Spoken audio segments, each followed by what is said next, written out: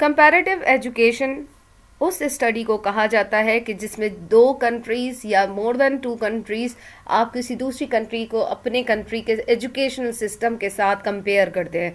आप education system को पढ़ते हैं, उनकी कंपैरिजन करते हैं, उसमें क्या सिमिलैरिटीज़ हैं और उन दो उन कंट्रीज़ में क्या डिफरेंसेस हैं अपनी कंट्री के साथ? उस एजुकेशनल सिस्टम को पढ़ने के लिए मल्टीपल मेथड्स यूज़ होते हैं कंपैरेटिव एजुकेशन के, जिसमें क्वांटिटेटिव ऑफ़ और स्टैटिस्टिकल मेथड है डिस्क्रिप्टिव मेथड है सोशलॉजिकल हिस्टोरिकल एनालिटिकल और मेथड ऑफ़ सिंथेसिस शामिल है। इसी तरीके से बैरिडे ने फोर स्टेज मेथड दिया है। बैरिडे 1920 में पैदा हुए पोलैंड में और उनकी वफात जो है वो 1983 यूएसए में हुई।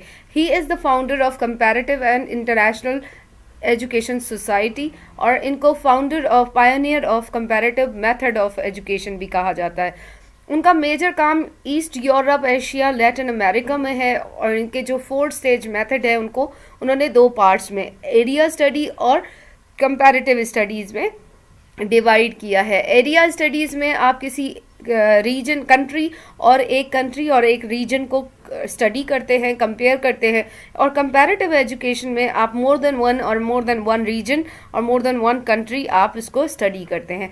बैरिडे के फोर्थ स्टेज मेथड में डिस्क्रिप्शन इंटरप्रिटेशन जस्टापोजिशन और कंपैरिजन है। डिस्क्रिप्शन में आप एक कंट्री का, दूसरी और दूसरी, आप डिफरेंट दो कंट्रीज़ का डेटा लेते हैं। दो कंट्रीज़ का डाटा आप गैदर करते हैं, उसका एक कंट्री ए का भी लिया लेट सपोज़ पाकिस्तान का एजुकेशनल सिस्टम आप, हमने लिया, और साथ हमने ईरान का एजुकेशनल सिस्टम भी ले लिया।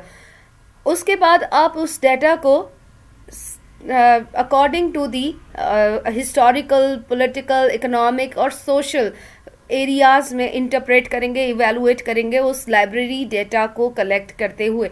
लाइब्रेरी कैन बी ओ का आप वेबसाइट से डाटा ले सकते हैं, आप यूनेस्को से ले सकते हैं। उसके बाद आप हिस्टोरिकल बैकग्राउंड देखेंगे। हर दो कंट्रीज़ का अलग अलग आप हिस्टोरिकल पॉलिटिकल इकोनॉमिक और सोशल बैकग्राउंड चेक करते हैं।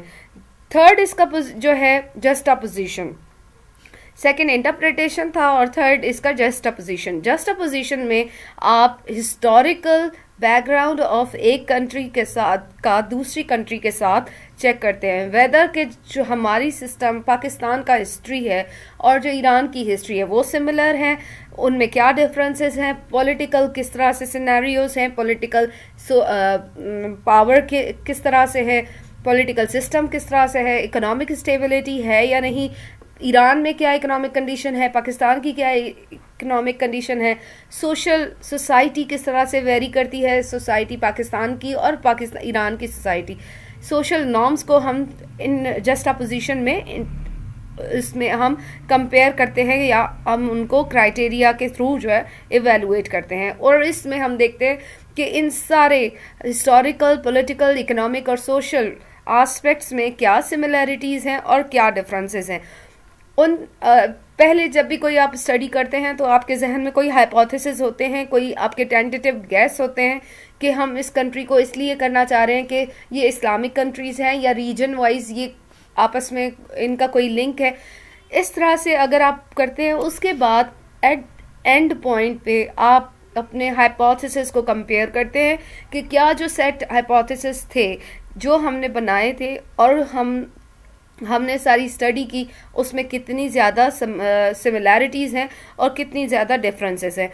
उसके बेस पे हम कॉन्क्लूड करेंगे और अपना एक वैल्यू जजमेंट देंगे इवेलुएट करके देंगे। हम कॉन्क्लूड करेंगे कि हमारी एजुकेशन सिस्टम और ईरान का एजुकेशन सिस्टम आपस में मिलता है या बहुत ज़्यादा डिफरेंसेस हैं तो क्या वेरिएशंस हैं, क्या उनके बैकग्राउंड्स हैं ये सारी चीज़ें जो है हम बैरिडे के फोर स्टेज मेथड में स्टडी करते हैं।